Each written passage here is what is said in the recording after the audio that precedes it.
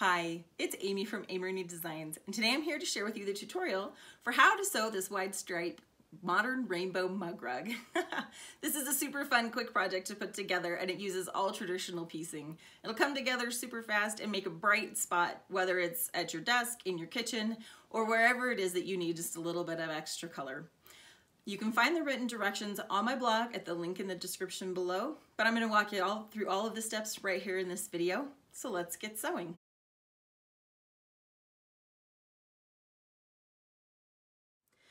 You're going to need two pieces of background fabric. One will measure two and a half by four and a half inches, and the other one will measure seven and a half by four and a half inches. You're gonna need six stripes, and they need to be one and a half inches wide by nine inches long. Then you'll also need a batting piece, a background piece, and your binding. The background and the batting will be cut to six and a half by nine and a half inches. And then your batting will be, or your binding, excuse me, will be two and a quarter inches by width of fabric. I like to go with um, six and a half by nine and a half. Our finished mug rug will measure six by nine, but that gives us a little bit of room to square it up after we've done all of our quilting. So once you have all of your supplies cut, we're ready to get started. We're going to begin building our rainbow from left to right, starting with red. We're going to take the smaller of our two background pieces. You'll place your red fabric right side up if there's a right or wrong side. I'm using um, confetti cottons from Riley Blake Design for mine, and because they're solids, there's not really a right or wrong side. But if you did have a wrong side or a right side, you want your first strip right side up, and then you're gonna take your small background piece right side down, and place the long side matching up with the long side of your strip and you want it to be three quarters of an inch down from the top of your red strip. Then you're going to take it to your sewing machine and you're gonna sew along this side seam using a quarter inch seam allowance.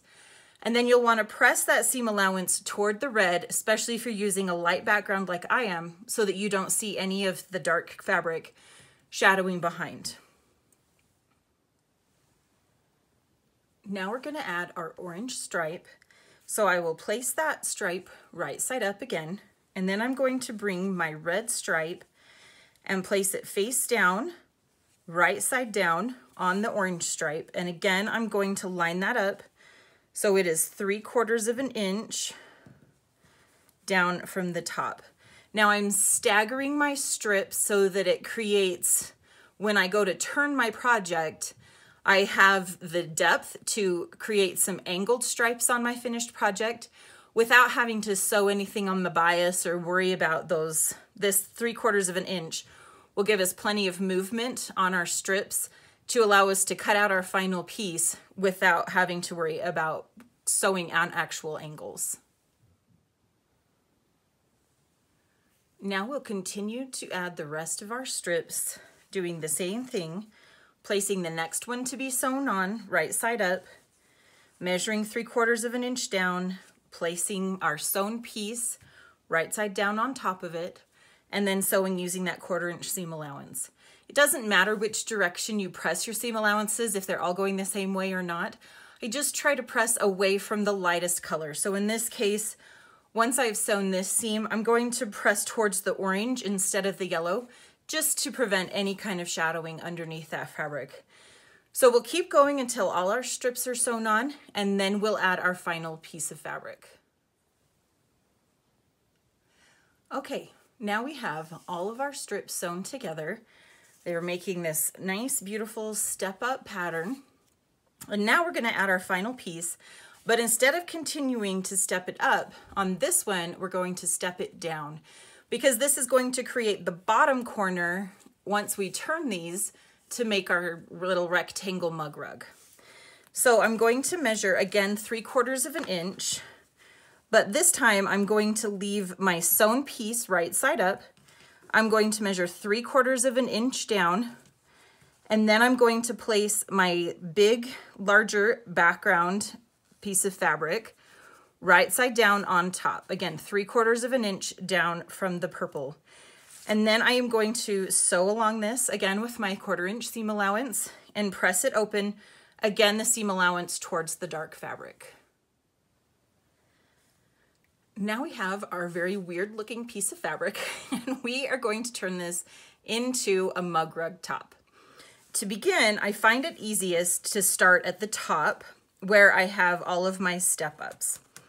So I'm going to begin by just lining up my ruler with all of my incremental increases right there. And I'm going to just cut across all of these top steps.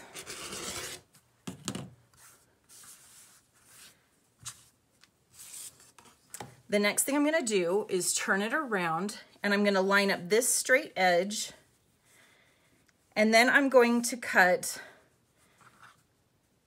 six and a half inches away from here. So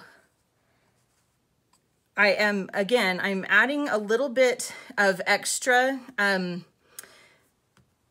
to the sides here so that as I quilt it, then I can square it back up before I add my binding. So if you get to where, and it looks like you have a little bit of a gap somewhere at the corners, unless it's more than a half an inch, don't worry too much about it because all of that is gonna get cut off on our final, final trim. So again, I'm going six and a half inches from my new straight edge, and then I'll trim up this side.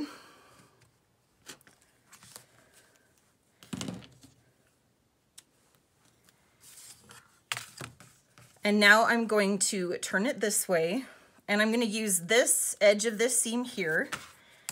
I'll use my bottom here to create, to line up my ruler for a straight edge. And then I'll trim it there. And then my final trim will be to make this nine and a half inches this way. And again, you can see I have just a little tiny dip right here, but that's gonna go away in my final, um, my final trim before I add the binding, so I'm not too worried about that. So now I have my finished wide strip modern rainbow mug rug top finished. The next thing to do is to add your backing and your batting fabric. So I'll place my backing right side down, add my batting, add my top. I'm gonna quilt this all up and then add my binding. I like to use spray basting, especially on small projects like this, but you are more than welcome to go ahead and baste it however is your preferred method.